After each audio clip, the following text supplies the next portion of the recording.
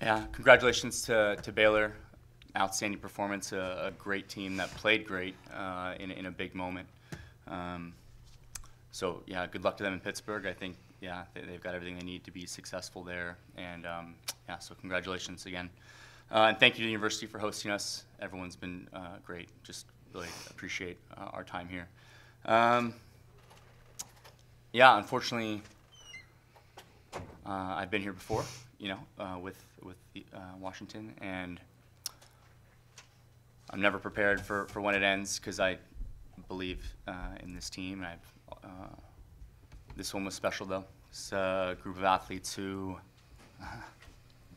had to carry a heavy load, you know, and um, excuse me, particularly the senior class. You know, uh, it's hard to do this thing well. It's hard to do it right. There's lots of shortcuts, uh, you know, uh, for athletes and for coaches, and when you do it right, it's difficult.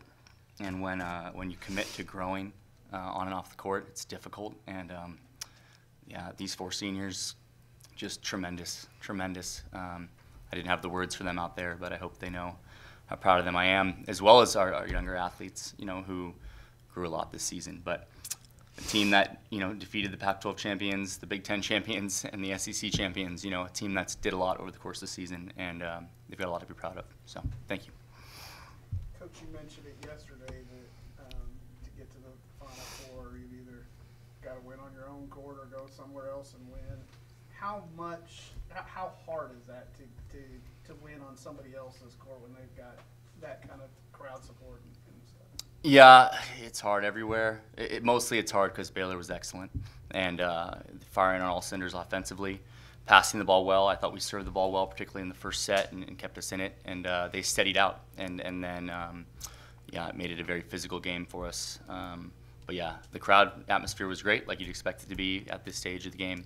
Uh, but yeah, Baylor Baylor had it going. Yeah. Kara, dropped that first set and come back uh, hard that second set. Coach mentioned the serving. Is that something where you guys can start feeling like you're putting pressure on a team? I mean, Baylor's passing seems, you know, a little out of sorts when y'all were serving. Yeah, I think that's just something Washington's always had to focus on is serving. And um, you see in the games that we win are the games that we're close in. It's because of the pre- server service pressure and because of the passing. And so we knew that if we could get them off the net out of system, which we did a lot of the times, but they did execute pretty well. Ella, uh, just you know, how proud of uh, this team are you, and, and just what y'all were able to do? Yeah, like I said yesterday, this is something that's been on our mind since the beginning of the season, and. Um, we tried not to say it all the time, but it was for sure always there because we knew that we were capable of it. And um, yeah, I think we um, obviously wanted more, but just how we grew throughout the season, the things we improved on, the things we learned as people and as teammates was um, I wouldn't trade it for the world. So. Coach,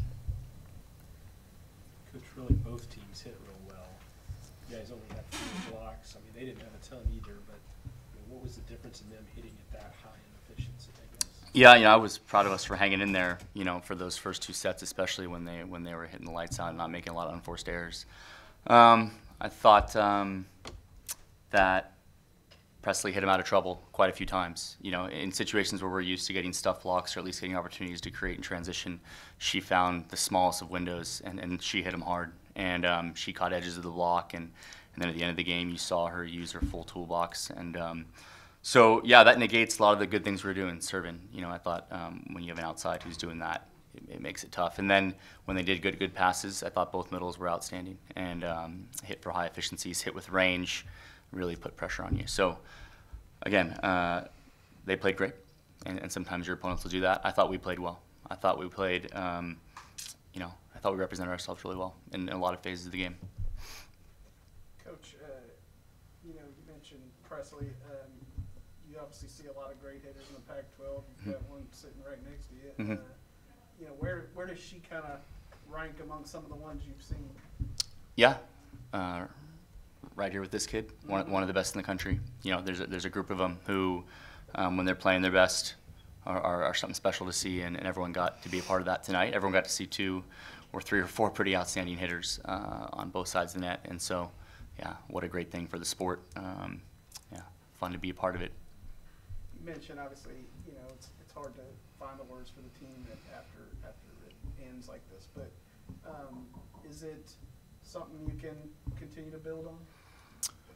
Yeah, uh, there's no question that, you know, I, I always wondered what we could do over long periods of time. You know, this is our third Elite Eight in five years. Uh, the young players in here are, are, are following the lead of the, of the older players, and they're doing it right.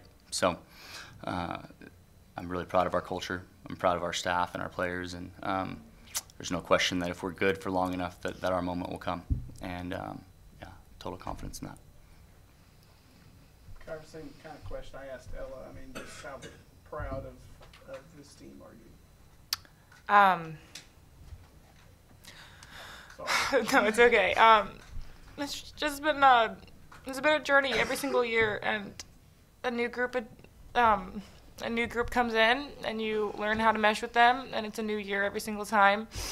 And this year was special just because I feel like we had a pretty good bond, and um, the other teammates in my class, we took on this leadership role, and we were really close, and we just enjoyed our time. And I think that's what's most important is liking where you are and the people that are around you. And so it's I think that's why something like this is so hard. It's just because you're you're saying goodbye to something that was so big in your life for so long.